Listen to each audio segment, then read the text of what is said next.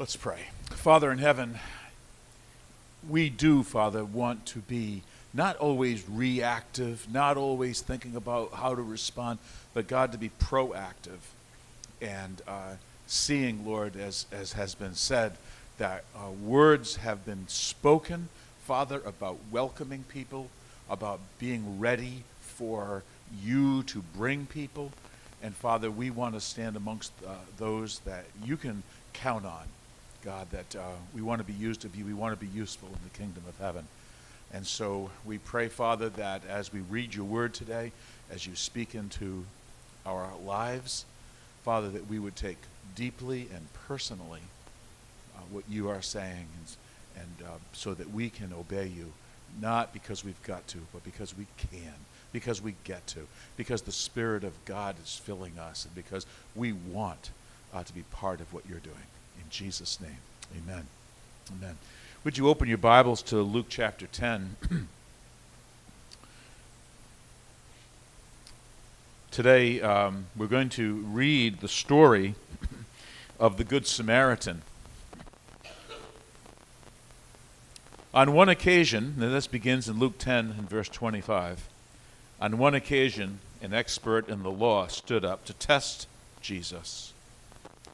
Teacher, he asked, what must I do to inherit eternal life? What is written in the law? He replied. How do you read it? And he answered, Love the Lord your God with all your heart and with all your soul and with all your strength and with all your mind, and love your neighbor as yourself. You've answered correctly, Jesus replied. Do this, and you will live. But he wanted to justify himself. So he asked Jesus, And who is my neighbor? And in reply, Jesus said, A man was going down from Jerusalem to Jericho when he fell into the hands of robbers. They stripped him of his clothes, beat him, and went away, leaving him half dead. A priest happened to be going down the same road, and when he saw the man, he passed by on the other side. So too, a Levite, when he came to the place and saw him, passed by on the other side. But a Samaritan, as he traveled, came to where the man was, and when he saw him, he took pity on him. He went to him and bandaged his wounds, pouring on oil and wine. And then he put the man on his own donkey, took him to an inn, and took care of him. The next day he took out two silver coins and gave them to the innkeeper. Look after him, he said, and when I return, I will reimburse you for any extra expense you may have. Which of these three do you think was a neighbor to the man who fell into the hands of robbers? The expert in the law replied, The one who had mercy on him. And Jesus told him, Go and do likewise. Who is my neighbor? That's the question of the day, and it's not just the question of the day because I say so, but it's really the question that has been going all around the world in, uh, in recent months is this controversy. It's uh, manifesting itself in the presidential election here in our country. Who is our neighbor? It's manifesting itself all over Europe as uh, hundreds of thousands of Syrian refugees make their way across Europe. And I don't know whether you're aware of this, but more than 12 million people have been displaced out of Syria in, uh, the, in the civil war that's there. And most of the people who have been displaced aren't in Europe, they're being resettled in the, in the countries of the Middle East around Syria. So this has uh, had an amazing, there hasn't been a, an occasion like this in modern history of um, the number of people being displaced. There were a lot of people displaced after World War II. There were a lot of people displaced after the uh, war in Indochina. But this is unprecedented. And so people are going into these countries, and, and some people are reacting positively, and many people are reacting negatively. In a lot of ways, if you think about it, the question of who is my neighbor is a very similar question to the question that Cain asked God in Genesis chapter 4. Cain had murdered his brother, and when God came looking for Abel, Cain said, Am I my brother's keeper?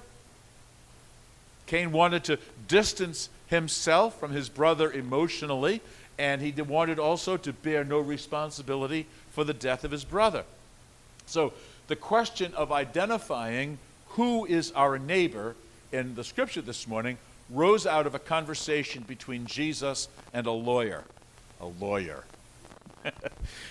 it was one of those pitting wits kind of conversations. The, the attorney, it says in, in the text, stood up to test Jesus. It was another, it had these attempts all the time, it seems, where, where people would, would figure they would take Jesus on. He hasn't heard this question before. I'm going to get him. And they would test Jesus, uh, not just to see what he knew, but to see if they could trip him up. And, and so to turn the tables on Jesus, the lawyer figured he, he would take a stab at it. And, uh, and it's interesting because the lawyer comes at Jesus with a spiritual question. And it's funny how often we mask our real concerns by asking another question that's on the surface and doesn't really get to the core, the root of what's going on. And we use these questions as diversions. So he comes up to Jesus and says, You know, according to the way you look at things, Jesus, what do I need to do to get into heaven? Now, what happens here is that something that you and I need to be aware of, if you're not already, God knows how you think. He knows that all of us, deep within ourselves, we are crafty shyster lawyers. We are manipulators. We uh, look for loopholes in every case. We learned this as children that if parents said something and didn't cover all the bases, we figured a way out of it, or so we thought. We parse our terms. We, well, it depends on how you define is. You know, you remember that. We, we look to see if there's any way that we can get away with what we've done. We, we're looking to, for the angle, for some way of avoiding responsibility, and we we all do this. Some of us get really good at it, but we all do it. So Jesus says to the man, Well, how do you read the law? And the man replied in verse 27 with a, an abbreviated version of the Shema Yisrael. You know, that, that is, Hear, O Israel, the Lord your God is one God. You shall love the Lord your God. That's the, that's the Shema. And he added at the end of it words that are not in the Shema love your neighbor as yourself. Oh, if, if only the lawyer had stopped when he was ahead. You know, Jesus accepted the man's answer and he simply replied, You do that and you'll be fine. But the lawyer just couldn't leave it alone. Something inside it must be nagging at him. And he felt that he had to justify himself before Jesus. Somehow he needed to redefine terms of, to absolve himself, apparently, of uh, his behavior or any responsibility that he might have toward, towards some unruly neighbor, some, somebody in his life that he didn't like, that he wanted to be distanced from. So he said to Jesus, And who is my neighbor? That was the man's real question. Now we've gotten down to it. And what's happened is, is that the lawyer may have gotten an A on the written exam, but he was in grave danger of failing the application portion of the test.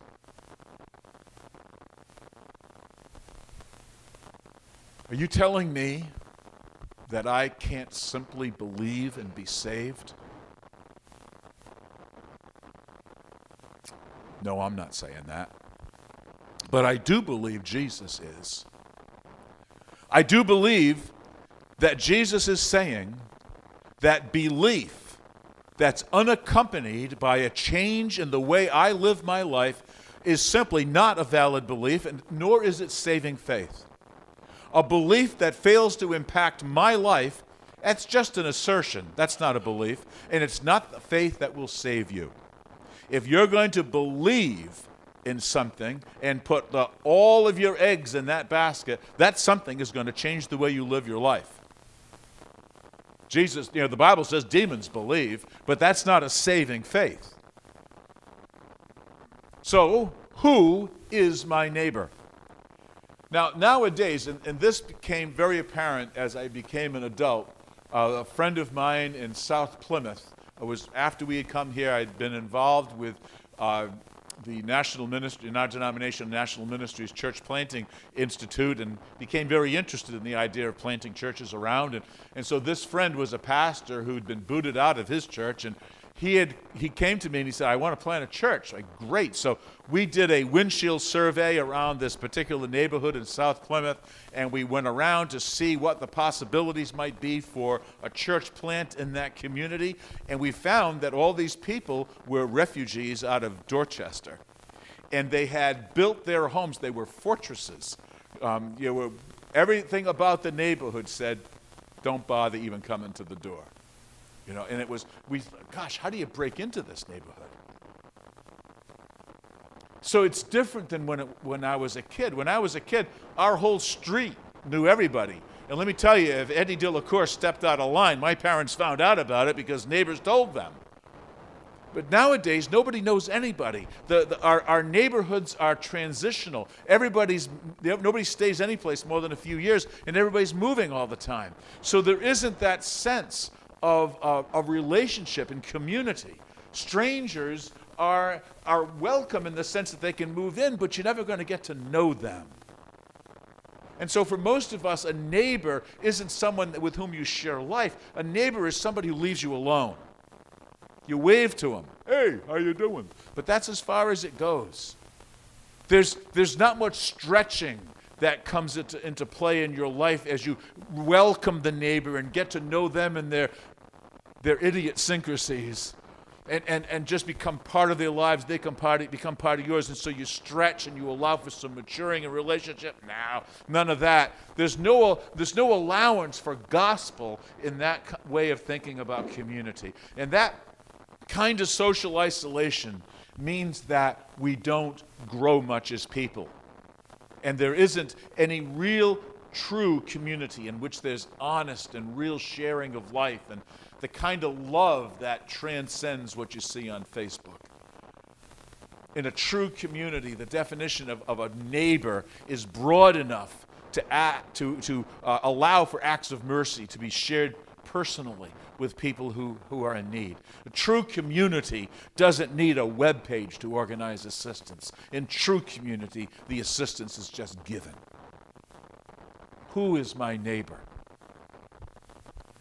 Now, honestly, it's, it's not really an opinion question because opinions range with your point of view.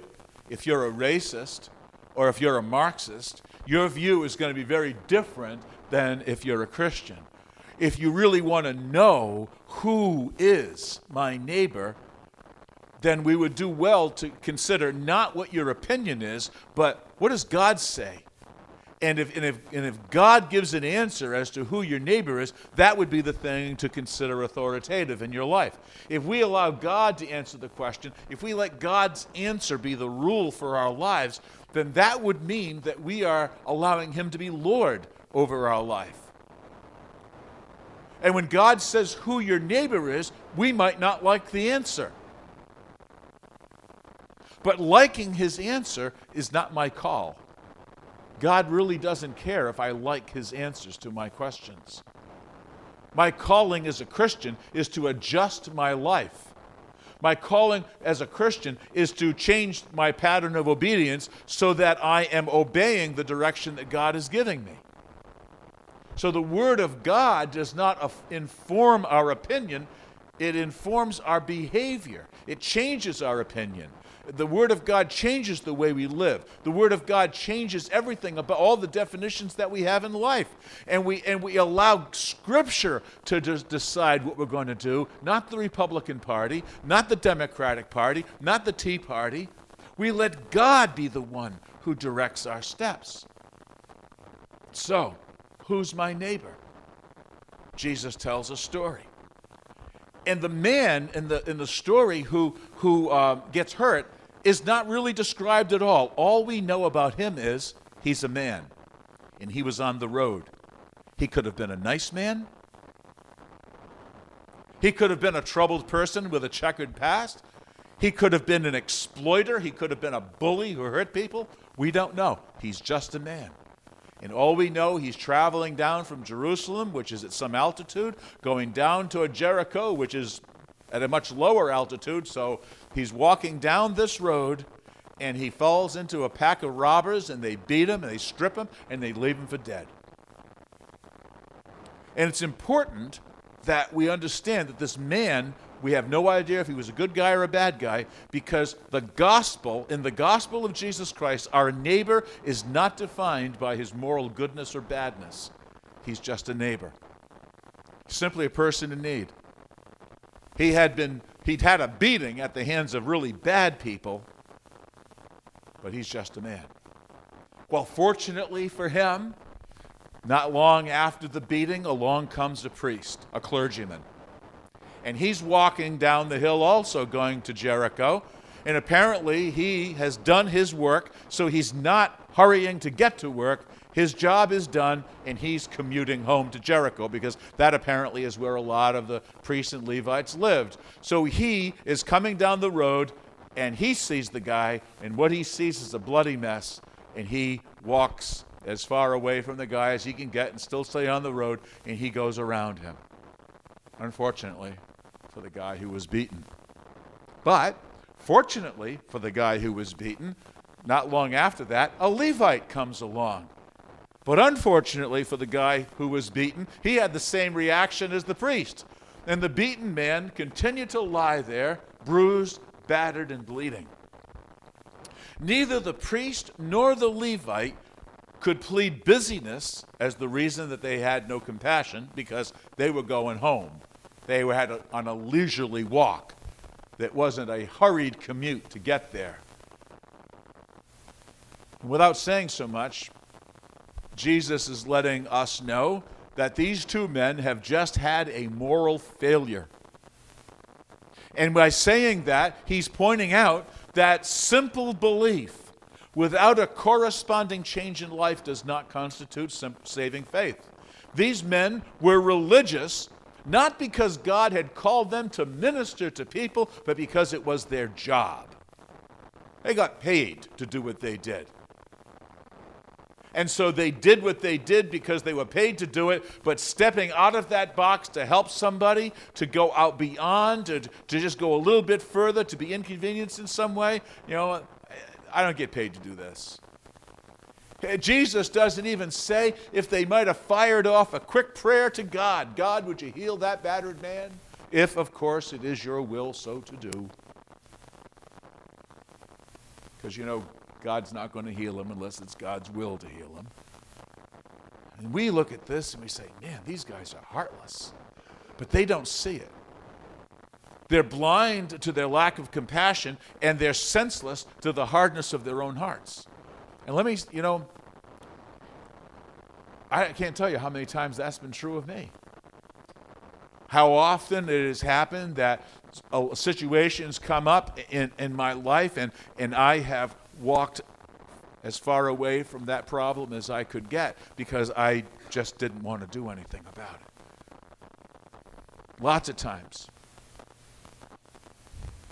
And, and, and it happens because fear is the motivation, motivating force in my life. I'm afraid to help.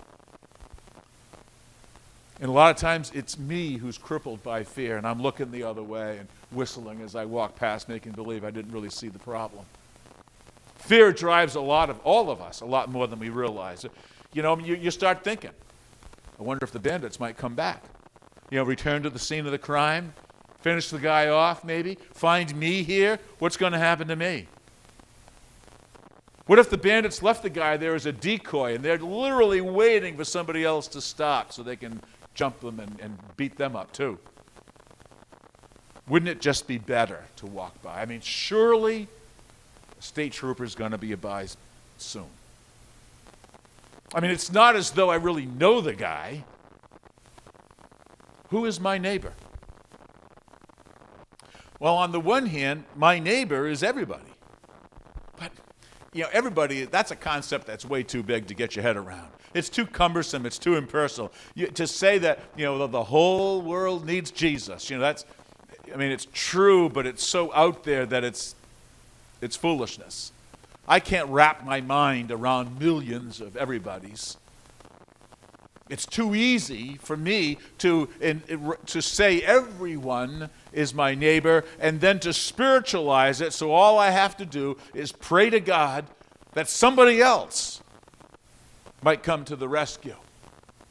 And even though I can't deal with the needs of millions, God seems to be saying that I'm still rep- responsible because God says I'm still a neighbor. And so, in, in such a way as to make the point, Jesus made the good guy in the story a Samaritan. Now, we all know this because we've been to church for a while. Faithful Jews saw the Samaritans, let's just say, in a negative light. It was a racial thing, an ethnic thing. The Samaritans were descended from the folks that stayed in the land when Israel and Judah went into exile. So they were like the poor people that couldn't, they, the Babylonians couldn't be bothered to take with them. And they were left there. And over time, their belief system became corrupted and, and was skewed toward idolatry. And to make matters even worse, from a Jewish perspective, they were, dare I say it, racially impure. They'd messed around with other people of different racial and ethnic origins and they were all a bunch of half breeds. And so these were not the kind of people you wanted your daughter to marry. These were not the kind of people you wanted your son to marry. These weren't the kind of people you would invite to dinner. These weren't the kind of people you would talk with. These were the kind of people you would say, You stay away from me. You stay on your side of the road, and I'll stay on mine. And so Jesus, what was he thinking? Made a Samaritan walk on the same dangerous road. And it was this guy who stops to give roadside assistance. Boy, talk about ethnic hatred. Those people who are despised and rejected uh, uh, in, in, Samaria were just as despised and, and rejected as the Muslims are who have been displaced in Syria. You know, no thinking, responsible Jew would allow himself to be seen with a Samaritan. It's like imagine inviting a Muslim family to church with you. Jews would never eat with a Samaritan, they wouldn't have him over coffee. And here is a dreaded Samaritan saving the life of a man who himself would never give the Samaritan the time of day. Who is my neighbor?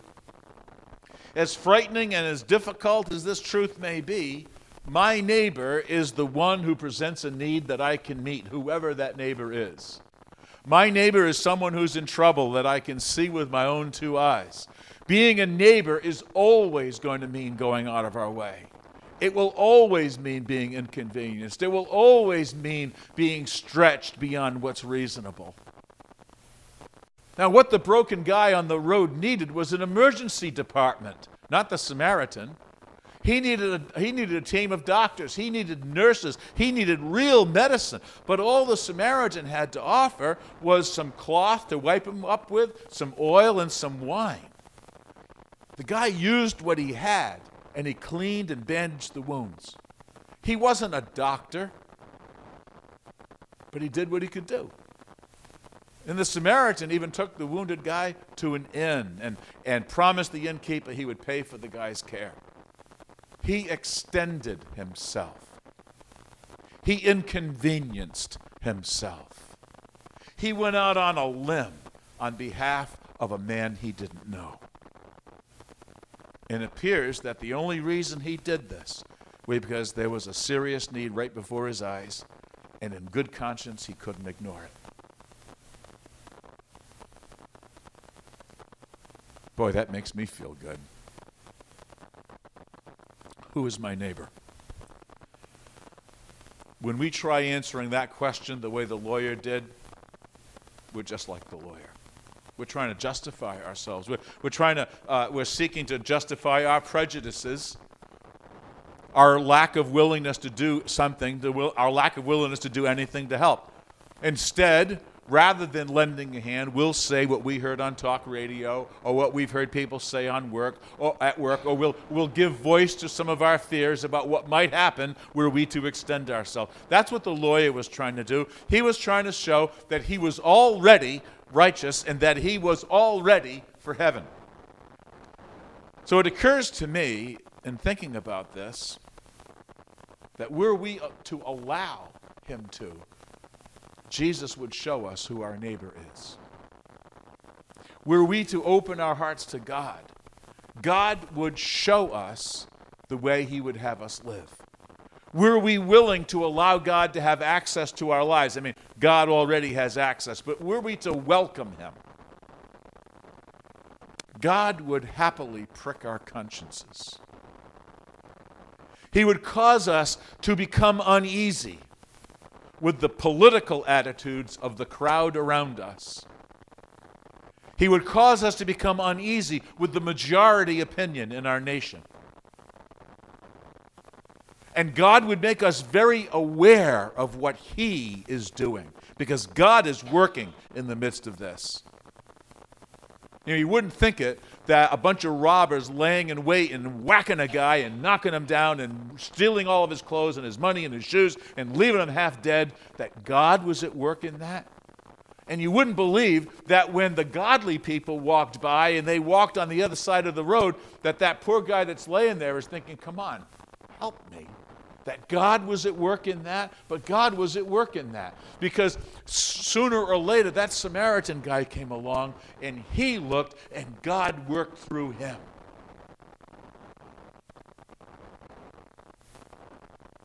God will make us aware of what God is doing in this world and in whom He is working.